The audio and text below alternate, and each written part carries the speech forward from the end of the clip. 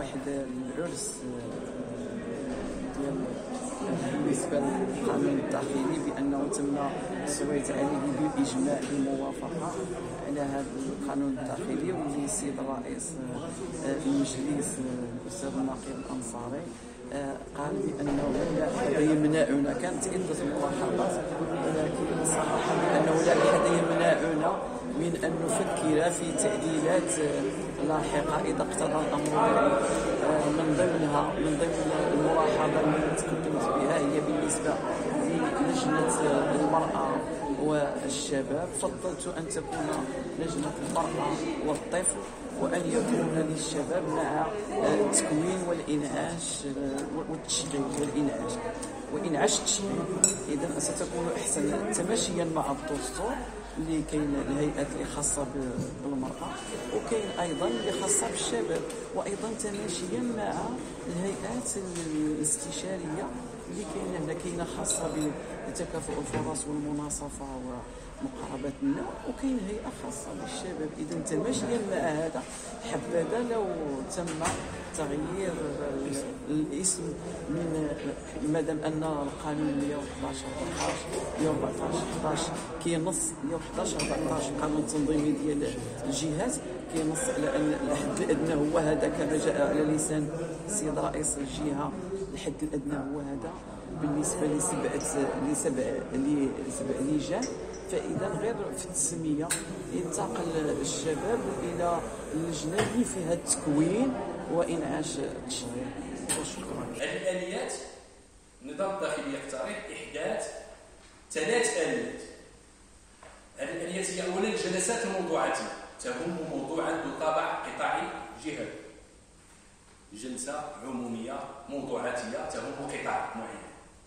كاين ثانيا الجلسات الترابيه تهم موضوعا ذو طابع ترابي جهوي ليس موضوع قطاعي انشغال ديال مجال ترابي معين مجال الجبل مثلا انشغال ترابي كاين أيضا الآلية الثالثة هي المنصة الرقمية لتيسير التشاور العمومي بالجهة تهم مختلف آه، قضايا الجهة.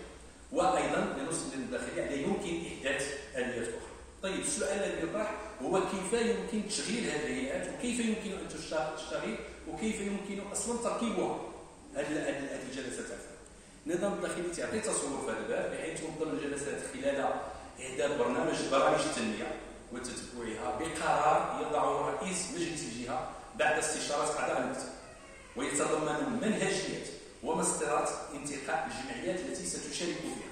ما يمكنش نديروا جلسة موضوعاتية حول التنمية الاقتصادية وما يكونش عندنا تصور شكون اللي غيشارك. تصور واضح هو ان السيد الرئيس كيدير واحد القرار استشاره مع تيوضح فيه شكون اللي غادي شكون اللي غادي يكون فيها وكيف سيتم اختياره وكيف سيتم انتقائه إلى آخره. يترأس رئيس المجلس آه، بحضور ممثلي يترأس رئيس مجلس الجلسات بحضور ممثلي جمعيات المجتمع المدني الفاعله في المجالات ذات العلاقه بموضوعها ويراعى في اختيار ممثليها التجربه والخبرة في المجال ويحدد توزيع الجمعيات حسب حصيص حسب حصيص يوافق عدد اعضاء وعضوات كل هيئة من الهيئات الاستشارية.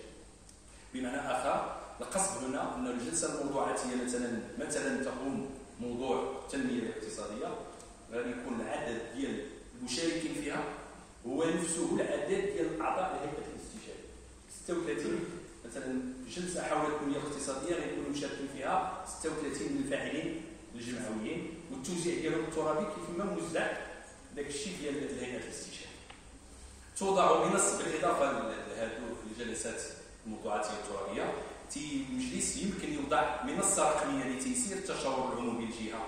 رهن إشارة المواطنين والمواطنات للمساهمة في تقديم اقتراحاتهم فيما يتعلق باعداد برامج التنمية وتتبعها النظام الداخلي هنا تينص على مجموعة ديال المقتضيات كيفاش هذه المنصة غادي تشتغل شنو الموضوع اللي يكون فيها؟ الرابط الإلكتروني باش يمكن للمواطن يدخل لها إلى آخره. تسريب مقتضيات انتقاء الجمعيات المشاركة في الجلسات الموضوعاتية والترابية عبر المنهجيه المتبعه المتبعه في تشكيل الهيئات الاستشاريه.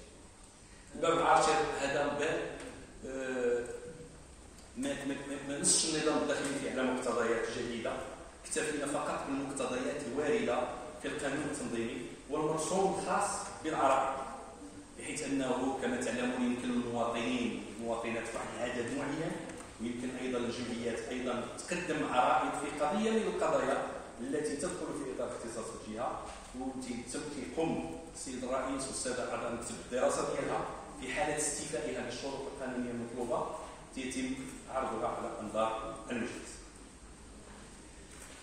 آه، آخر الأبواب الثلاث هي الباب الحادي عشر التي تنص على مقتضيات خاصة في حالة الاعلان عن حالة الطوارئ الصحيه واي حالة مماثله وذلك كما جاء في الكلمة التقديمية للسيد الرئيس بحيث يجوز عقد هذه الحالة هذه.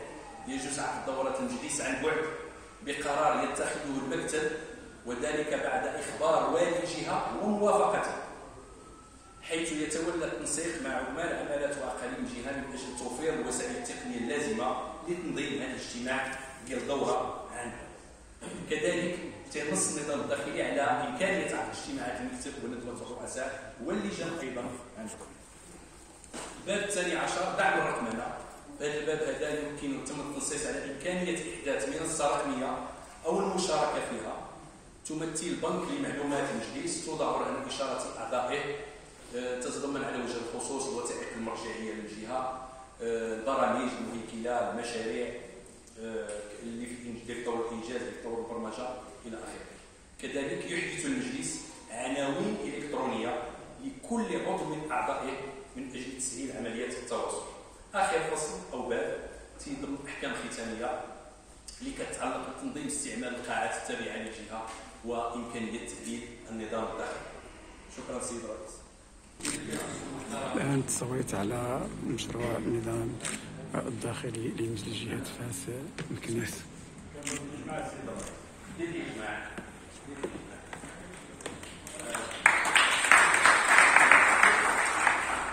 أشكركم جميعا أخواتي إخواني أحباب مجلس الجهة وأستسمحكم في كلمة سي سي العالمي دقيقة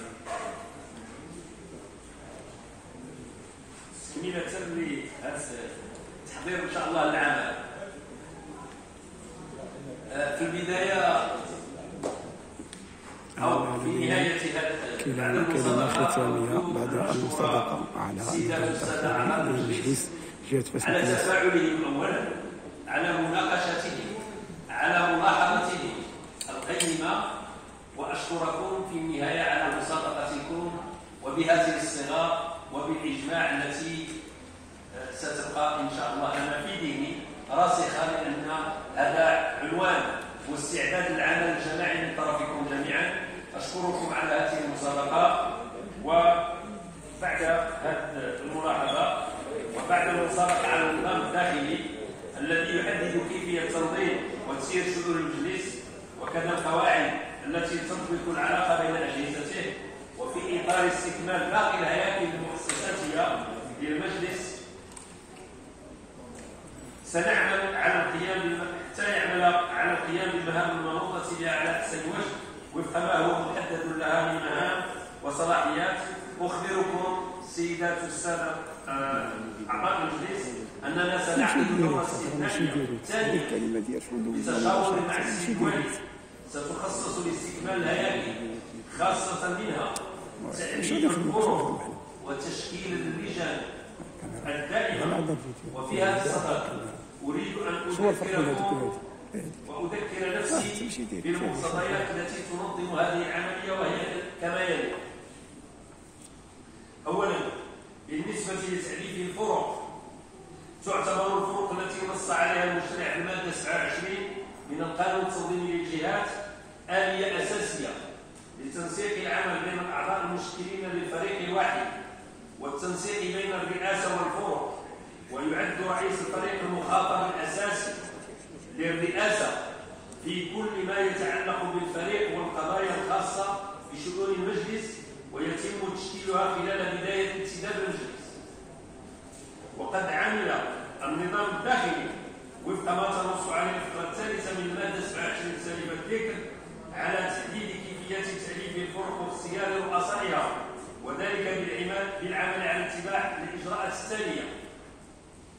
يوجه كل فريق من الفرق السياسية المشكلة لمجلس الجهة طلبا للرئيس موقعا من طرف أكثر من نصف أعضائه لأجل استغلال إحدى قاعة الجهة لاختيار رئيس واسم الفريق. اختيار الرئيس واسم الفريق وتسمية الفريق.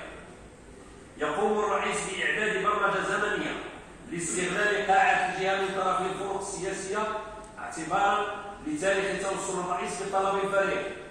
أي بالتتابع يقدم رئيس الفريق لرئيس المجلس قبل جلسة انتخاب رؤساء اللجن ونوابهم أو خلالها.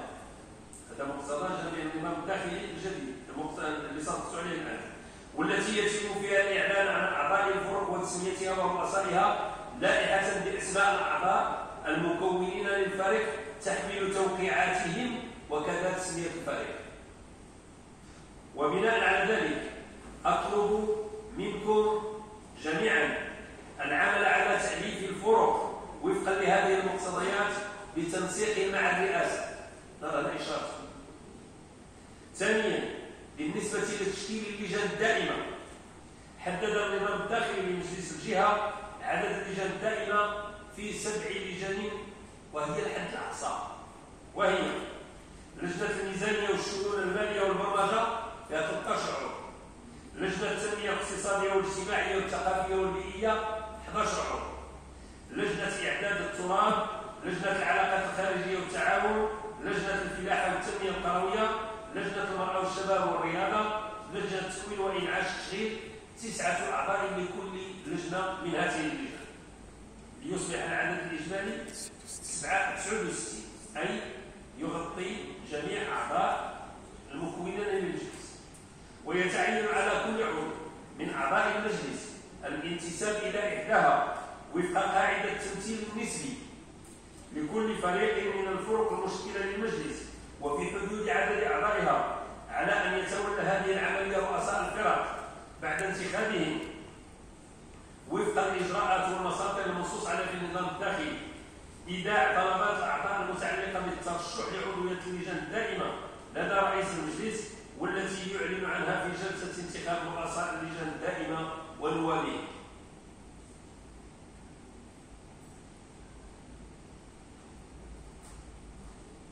وبهذا الخصوص سيتولى المكتب إعداد مقترح لتوزيع السيدات توزيع عدد توزيع عدد مش السيدات توزيع عدد سيدات والسادة أعضاء المجلس على اللجان الدائمة حسب التمثيل النسبي للفرق وستتم موافقتكم به. عبر إن شاء الله ذاك البريد الإلكتروني اللي تحدثنا عنه وفي الختام أشكركم جميعا على إنجاح أشغال هذه الدورة الاستثنائية الأولى التي يعقدها مجلسنا. كما أشكر السيد الوالي من خلال السيد الكاتب العام والسادة الكتاب العامون. ونسأل الله أن يوفقنا ويسدد خطانا فيما يخدم التنمية الجهوية لهذه الربوع العزيزة. أي هذه الجهة العزيزة على جهة الناس تحت القيادة السامية لجلالة الملك محمد السادس نصره الله وإياه. والسلام عليكم ورحمة الله تعالى وبركاته.